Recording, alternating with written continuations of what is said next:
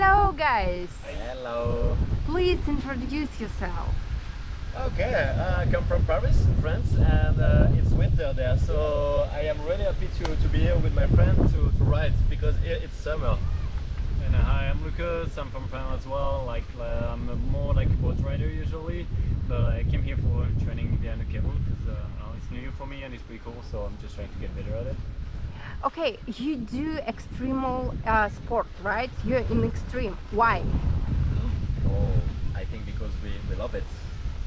Yeah, you know, like I started as a gymnast when I was younger, and I don't know, I just tried it when I was like 15 or 14, and I just liked it. So I don't know, it's just cool. How many years you're in wakeboarding? Oh, I think seven years, but I come from snowboards, so it was really really funny and just like the same. Yeah, I'm younger than him, but I've been in a wakeboarding for 20 years now. So. So you're the one who's staying in the podium, right? What do you feel when you go to the podium and got all these rewards? Oh, I think it's uh, a pleasure uh, because uh, we can make photo to Instagram. This is the goal. I joke. I don't know. I don't know. Like, I think yeah, it's like it's really cool when you finally get what you've been working for for so long, because like it's a real commitment to do all of this, and uh, it's a lot of sacrifice. So yeah, I know it's like really cool to finally what get what you want and what you've been working for. What you can say to the people who just begin and do wakeboarding, to the children, because this is quite extreme, quite dangerous, and you're professionals in this sport. Ah, j- just a pleasure.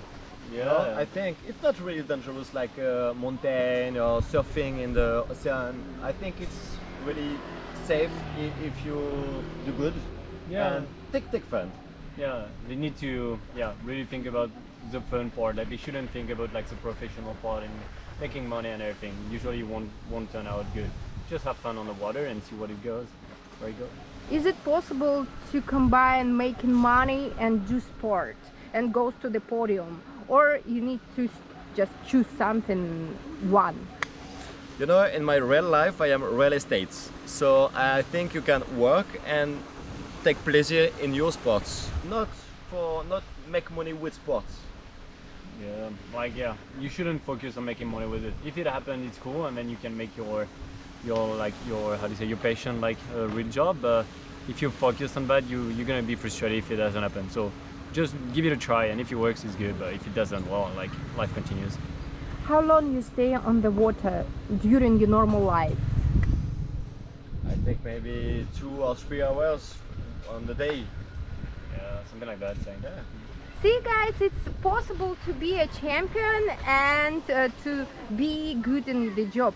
Also, I know that you are very good in other sports. You said snowboarding plus horses, right? Yeah. Yeah, yeah.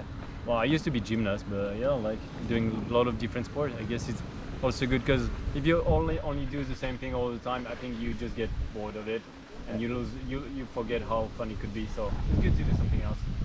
What is your lifestyle? Do sport, working and traveling, right? Yep. Yeah. Yeah. How many countries in your pocket? I don't know. Let's say uh, how many different countries? I'd say like Wow. more than 30. I'd say. Yeah, maybe same. Okay, this is a lot of money. Who's sponsoring you? Oh, I work a lot. like, yeah, our sponsor doesn't give us much money. It's more like equipment and everything.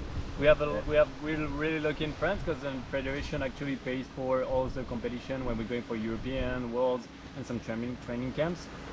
So yeah, I think I think we just like we're really lucky that our government is really helpful and they uh, give us the opportunity to travel around the world. And then some of our sponsors, like me, I get Protest Boardwear and uh, some and Demet, which is like a brand for sunglasses, will help me a little bit, but not much money. It's more about equipment. What is the best country which you visited and where you would like to go to retirement? I, I think uh, all the country uh, I did uh, are cool because I come back with a new spirit. So I think all country are, are really good. Yeah, Phuket, obviously. is the Yeah, place to but go. Phuket is really cool. okay, how long you visited Phuket now and uh, how many times?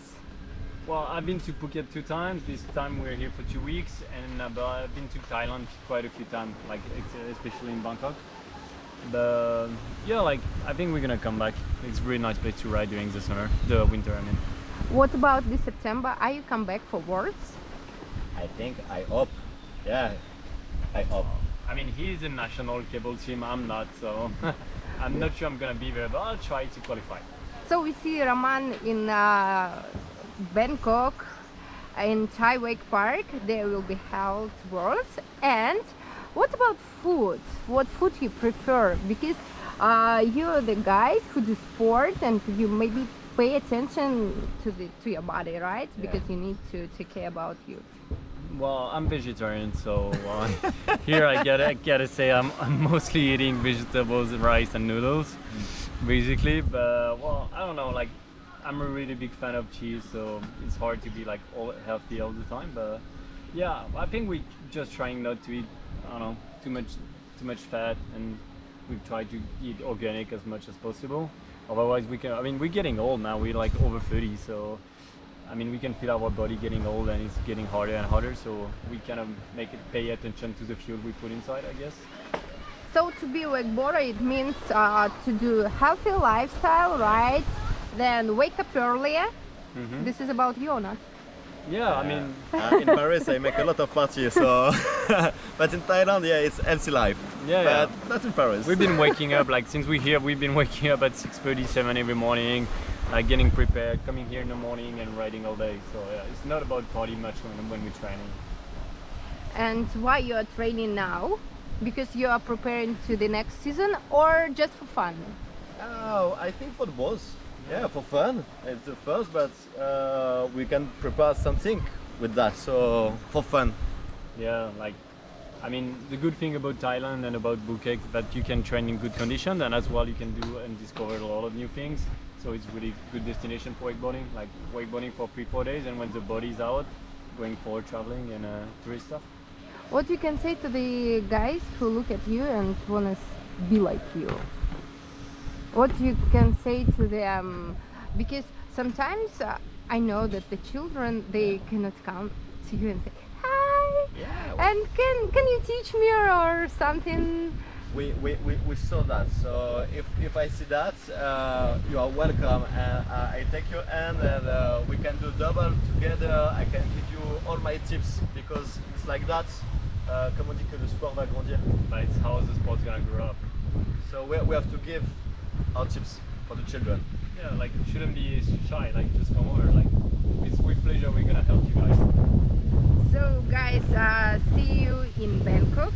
hope you will come to us, Luke, very soon as well to Phuket. Thanks.